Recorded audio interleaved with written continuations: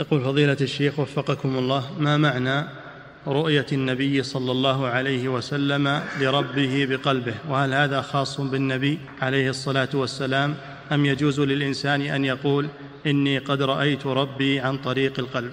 النبي صلى الله عليه وسلم قال الإحسان أن تعبد الله كأنك تراه فإن لم تكن تراه فإنه يراك. تختلف القلوب. فرؤية النبي صلى الله عليه وسلم لربه بقلبه تختلف عن رؤية غيره بقلبه. هذا يختلف. اليقين يختلف. والإيمان يتفاضل.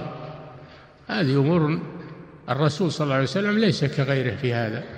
ليس كغيره في هذا. نعم.